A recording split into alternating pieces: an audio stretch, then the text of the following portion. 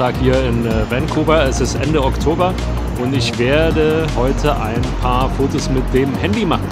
Das bietet sich immer an bei äh, Städtetrips. Einfach weniger Equipment mitnehmen. Ein Handy reicht.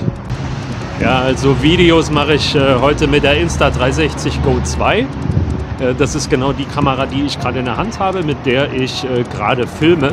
Und äh, Fotos mache ich heute ausschließlich mit dem iPhone 12 äh, Pro.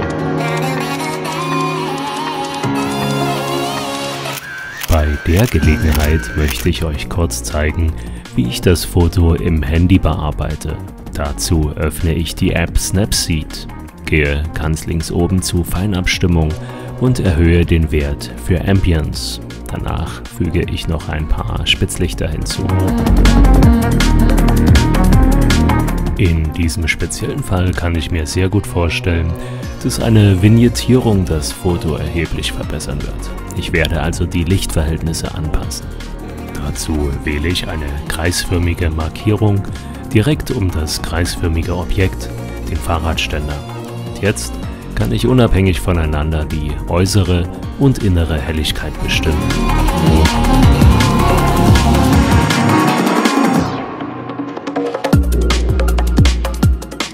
Indem ich mit dem Finger auf das Foto tippe, kann ich mir den Effekt anschauen. Ich habe also den Vorher-Nachher-Vergleich.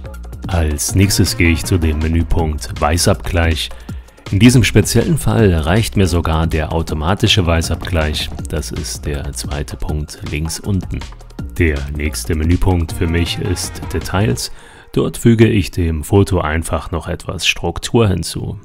Das war's dann schon in Snapseed. Ich gehe auf Exportieren und öffne das Foto in der nächsten App. Die nächste App ist MuseCam. Möglicherweise erreicht man das Endergebnis auch komplett in Snapseed. Ich allerdings liebe die Einfachheit und vor allem die sehr überzeugenden Filter in MuseCam. Und das war auch schon alles. Jetzt könnt ihr euch ein Vorher-Nachher anschauen. Was meint ihr? Gefällt es euch? Wenn ihr mehr davon sehen wollt, wie ich meine Fotos bearbeite, dann schreibt mir das gern unten in die Kommentare. Ja, und gerne auch, ob ihr lieber die Bearbeitung von Handyfotos auf dem Handy sehen wollt, wie zum Beispiel mit Lightroom Mobile oder eher Fotos, die ich mit meinen großen Kameras mache und dann mit Photoshop auf den Rechner bearbeite zum Beispiel. Thank you.